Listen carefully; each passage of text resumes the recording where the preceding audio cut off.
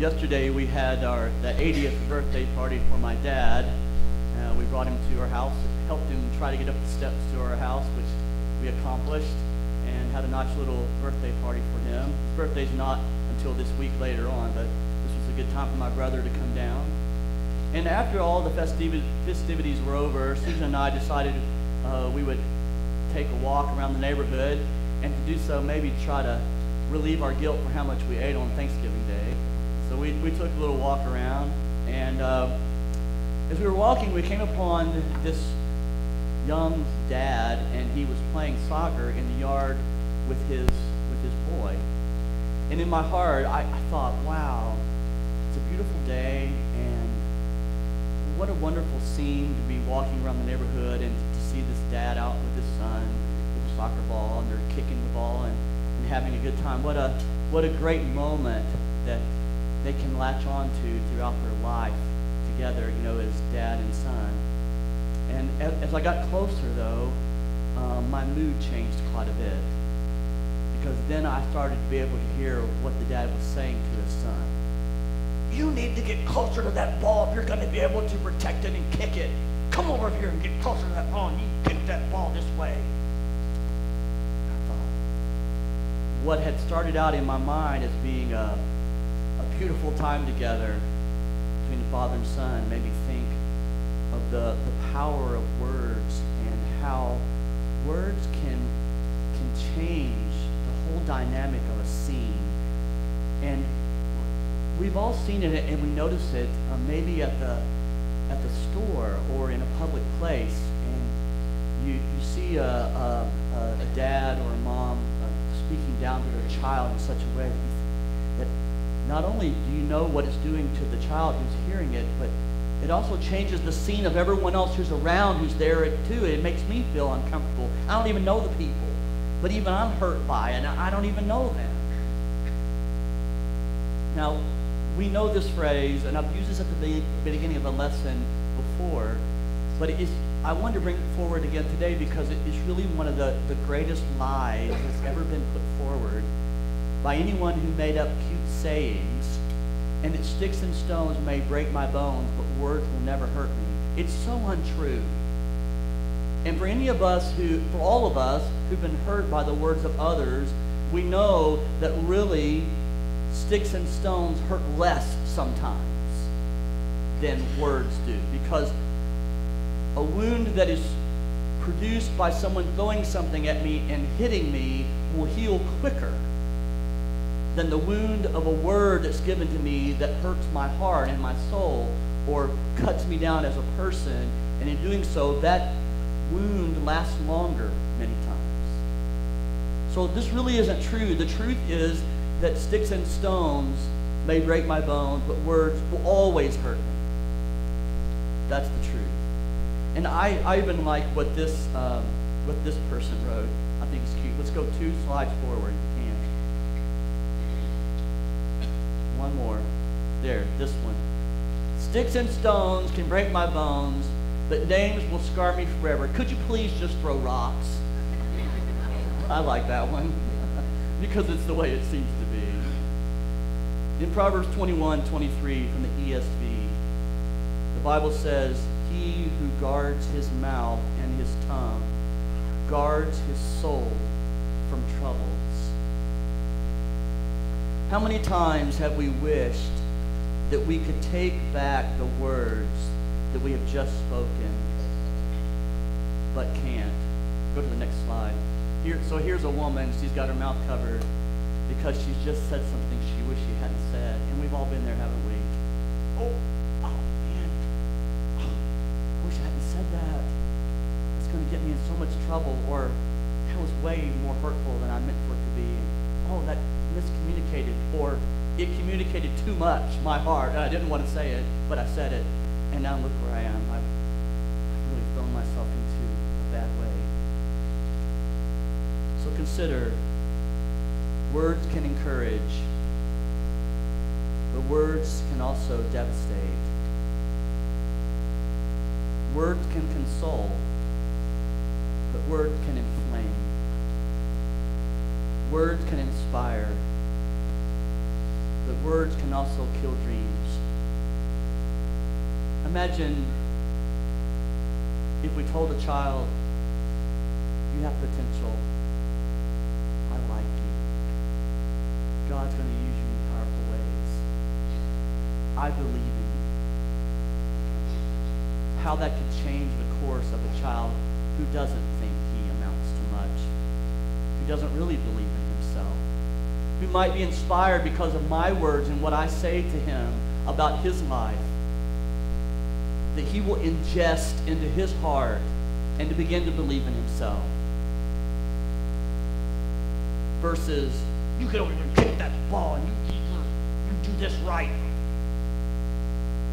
We've all been guilty of it. It's important for us as Christian people to understand the power and value of our words, to guard them carefully, and to understand what they can do. So much so that in James 1.26, James writes, If anyone thinks himself to be religious and yet does not bridle his tongue, but deceives his own heart, this man's religion is worthless. And there are many reasons why this is the case that we will explore. One of which, of course, we'll look at towards the end of the lesson, which is the most pointed, I think. And that is because our words at some point will eventually reveal the content of our heart. And so the best way for us to repair our words is to repair our hearts. And if we have hearts that are critical, eventually we're going to say words that are critical. If we are despairing in our hearts, then our words are going to be despairing eventually. So the best way for us to have better words is to heal our hearts. The New International Version says those who consider themselves religious and yet do not keep a tight rein on their tongues, deceive themselves. And the Wycliffe Bible, Wycliffe Bible says, refraineth not his tongue. So all these are action-based words or concepts that show us that in order for us to keep a rein on our tongues, it's going to take some work. We're going to have to work at it. Because if we just simply say what comes to our minds, we're going to say things that hurt people or say things we shouldn't say. We've got to be vigilant with regards to our tongues and make sure that the things that we say come from, pour forth from a good heart, but also we understand the weight of the words that we say. Guy N. Woods from the Gospel Advocate Commentary explains that bridleth comes from two words, to bridle and to lead. And we understand this when it comes to the concept of, a, of an animal that is bridled, that, that this animal has been put under control in order that it may be led in the right direction or in the direction of the master. And such is the case for us. We must bridle our mouths, our tongues, so that we may be led in the way God wants us to go. It portrays a man putting a bridle into his own mouth, not into someone else's. Which is what we want to do. We want to shut other people up, don't we? okay, turn your Bibles to James chapter 3. It's going to be our text for today, as you might have guessed. James chapter 3, verses 1 through 12. Let not many of you become teachers, my brethren, knowing that as such we will incur a stricter judgment. For we stumble in many ways. If anyone does not stumble in what he says, he is a perfect man, able to bridle the whole body as well. Now if we put the bits into the horses' mouths so that they may obey us, and we direct their entire body as well, behold, the ships also, though they are so great, are driven by strong winds, are still directed by a very small rudder, whether the wherever the inclination of the pilot desires. So also the tongue is a small part of the body, and yet it boasts of great things. Behold how great a forest is set aflame by such a small fire. And the tongue is a fire, a very world of iniquity.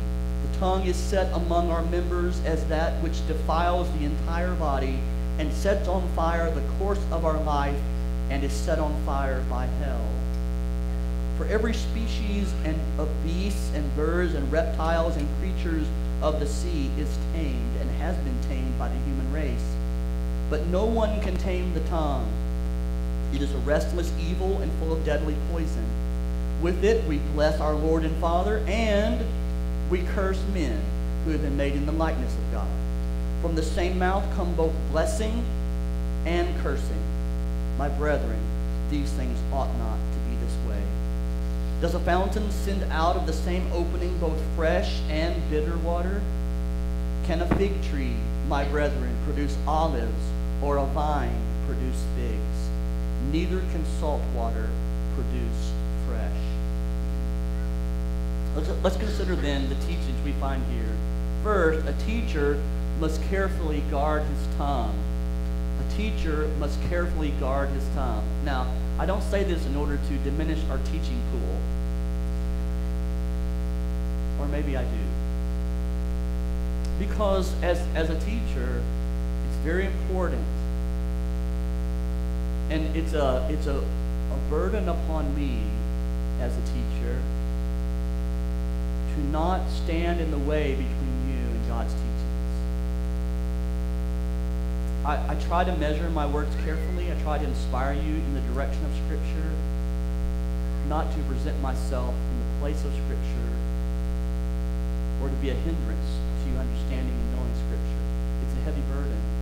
And it is one that causes me great care in, in what I say from the because I realize the teacher must carefully guard his tongue. In, in the same way that a, a Christian is out in the community and people are measuring what Christ is all about by the words you say, so people measure what Christ is all about by what I say. Be careful what you say.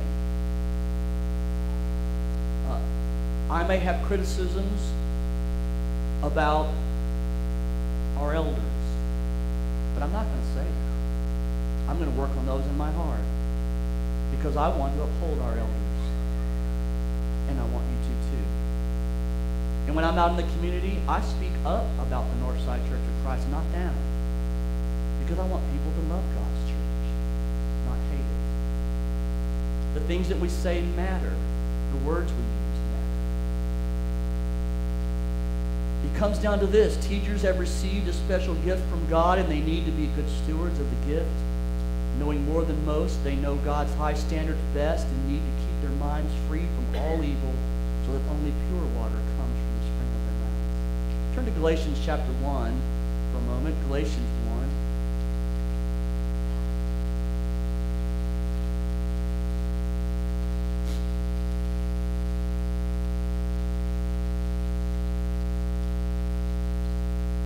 I'm amazed that you are so quickly deserting him who called you by the grace of Christ for a different gospel, which is really not another, only there are some who are disturbing you and want to distort the gospel of Christ. But even though we or an angel from heaven should preach to you a gospel contrary to that which we have preached to you, let him be accursed. As we have said before, so I say now again, if any man is preaching to you a gospel contrary to that which you have received, let him be accursed. For am I now seeking the favor of men or of God? Or am I striving to please men? If I were still trying to please men, I would not be a bondservant of Christ. I use this scripture only to illustrate the importance of staying true to Scripture. I think one of the things that, is, that sets our congregation, our church, apart is our dedication to preaching the Bible. When you come here, that's what you're going to hear me preach. It's what you're going to hear in class. You're not going to hear a lot of clever stories. You're going to hear what the Bible has to say. It's what sets us apart. It's being protective of what God wants us to know. And I appreciate our elders holding us to that task as they have throughout the generations here. These were more noble-minded than in Thessalonica, Acts 17.11 says, for they received the word with great eagerness, examining the scriptures daily to see whether these things were so. We're bound to teach what God wants us to hear, and that is his word. Secondly, the prudent man will always monitor his tongue. So not only is there a burden, is there a responsibility upon teachers, of course, and we as teachers when we teach others and as we present the gospel in the community, but also the prudent man, the smart man, the wise man, the righteous man will always keep check of his tongue, will bridle his tongue, will keep a tight rein on his tongue. For we all stumble in many ways. If anyone does not stumble in what he says, he is a perfect man, able to bridle the whole body as well. For every species of beasts and birds and of reptiles and creatures of the sea is tamed and has been tamed by the human race. But no one can tame the tongue. It is a restless evil and full of deadly poison. So since it cannot be fully tamed and controlled, we must bridle it. We've got to try. We've got to put every effort we can to allow God to give us the, the strength to be able to measure our words carefully. Tongue needs to be kept in check. There's normally far greater value in keeping one's own counsel and holding one's tongue than letting it wag, saying stupid, incomplete, hurtful, or evil things. That's why I let him say rather than me, but it's true. Number three, never underestimate the power of words. Here are the two examples that are given. The rudder, small but powerful. The bit, small but powerful. Big horse, able to be controlled by a small bit. And this just shows a little boat here, but imagine a, a large ocean liner, a big ship. And the comparison between it and its vastness and the smallness of the rudder, but the rudder, by moving from side to side, can steer the ship in different directions.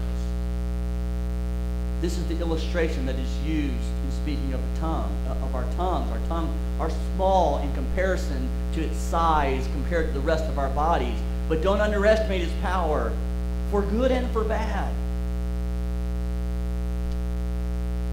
Careless words can be explained and diminished but never removed.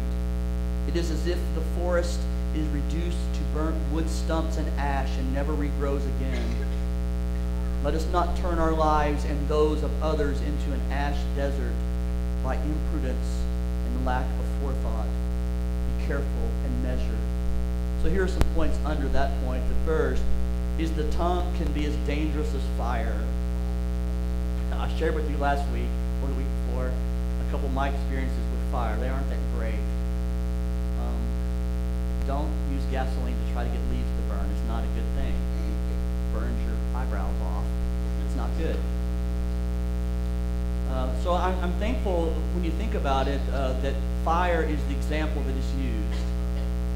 Um, we had uh, uh, Daniel's roommate Josh visiting with us, and this week we wanted to go to uh, Whitaker's Point, to Hawksbill Crag, drove all the way down to um, Boxley and got there, and there was a sign, closed due to forest fire.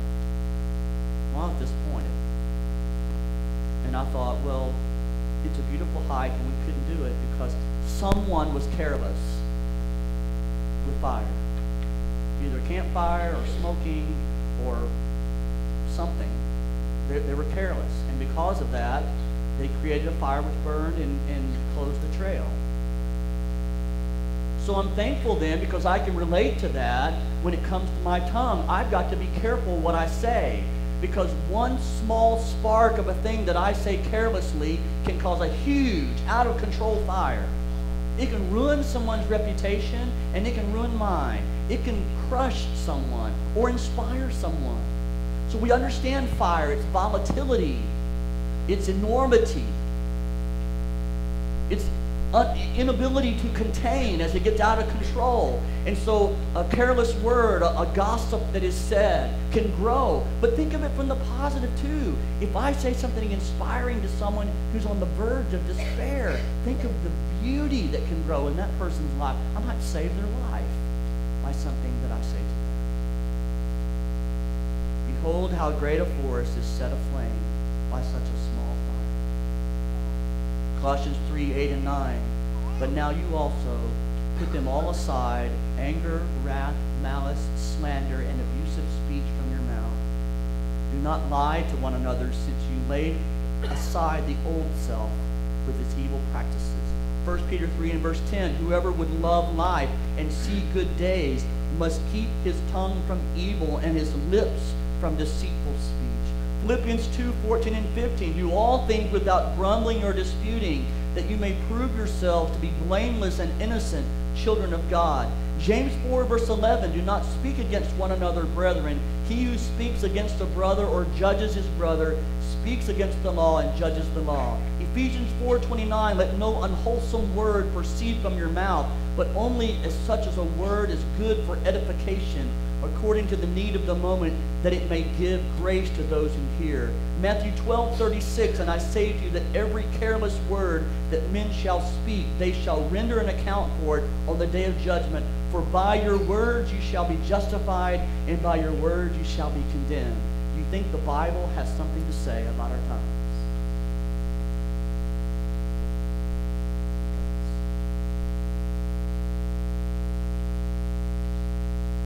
But perhaps even more pointedly, the tongue reveals our hearts.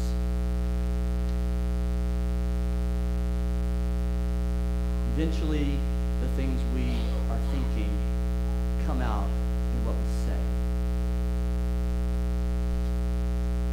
And James says, with it we bless our Lord and Father, and we curse men who have been made in the likeness of God. From the same mouth come blessings and cursing.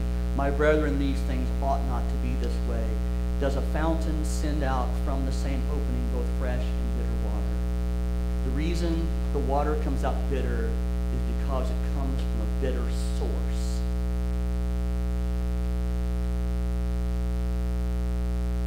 For the mouth speaks out of that which fills the heart.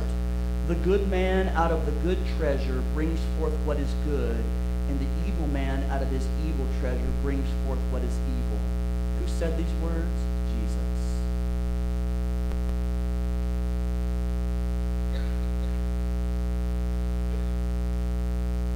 How then do we change our tongues? We change them by understanding its power, by what it does.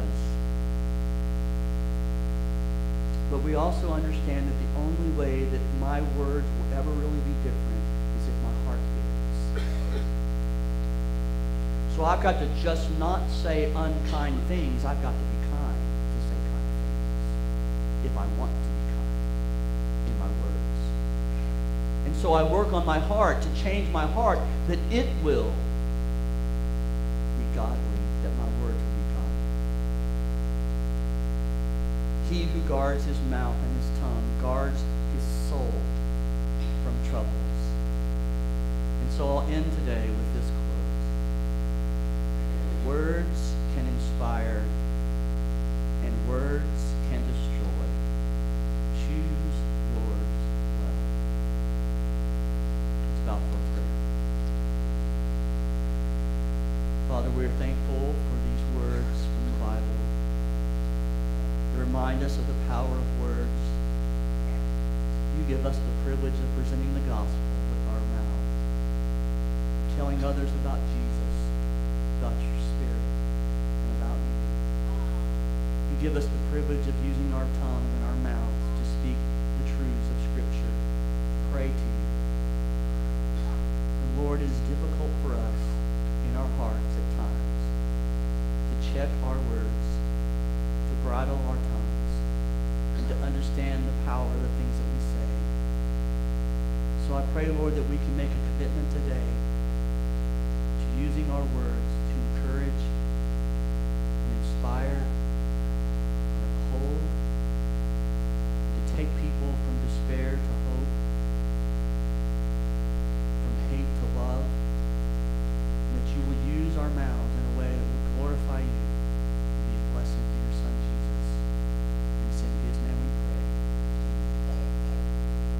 all stand together and sing. I'll offer this invitation now.